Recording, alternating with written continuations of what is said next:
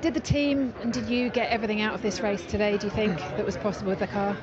In terms of position, yes, but I think how we um, the race, not.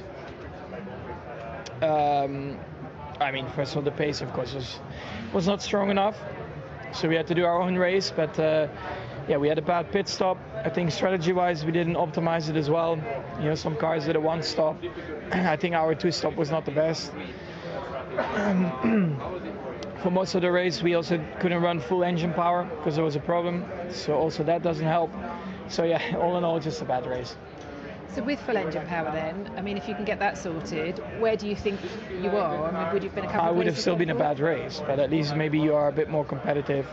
Because like this, we were in no man's land basically, you know, doing our, doing our own race. Is it hard to enjoy races like today?